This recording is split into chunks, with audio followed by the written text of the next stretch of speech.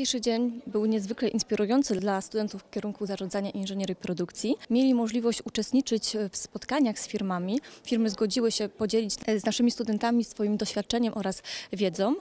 Przygotowaliśmy również w ramach Dni Inżyniera warsztaty dla y, uczniów szkół średnich.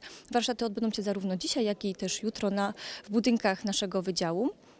Warsztaty będą prowadzone przez pracowników e, naszego wydziału.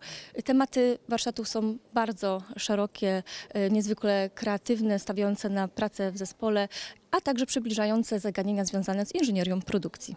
Od wielu lat współpracujemy z Waszą e, uczelnią, ponieważ wielu absolwentów jest teraz już u nas na stanowiskach kierowniczych, menedżerskich.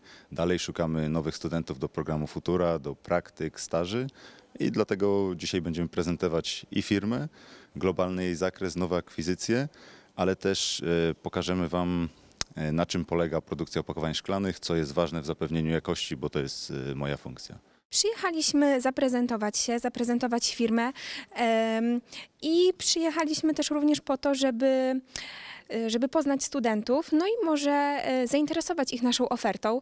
E, Mamy praktykantów, mamy stażystów. Właśnie ostatnio zaczął u nas staż w dziale IT student Politechniki Opolskiej.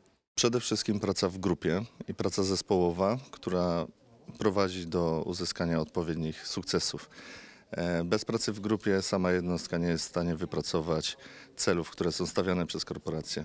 Spodziewam się spotkania z firmami, tak, że powiedzą nam coś o sobie, będą nas zapraszać na praktyki, staże, czy chociażby nawet później do pracy teraz, już w trakcie studiów na jakimś etatu lub później po skończonych studiach. To jest bardzo fajna propozycja, bo możemy się dowiedzieć, jakie są potrzeby rynku, jak, jakie potrzeby pracodawca i nam oferuje i jakie my możemy też miejsca pracy zdobyć. Jestem już drugi raz na Dniach Inżyniera. W tamtym roku firmy pokazały bardzo ciekawe aspekty funkcjonowania i w tym roku liczymy na powtórkę, że nowe firmy pokażą jeszcze ciekawsze materiały no i utwierdzą nas w naszym wyborze. Są różne firmy, no ale łączy ich to, że są z branży produkcyjnej, czyli z naszej działki.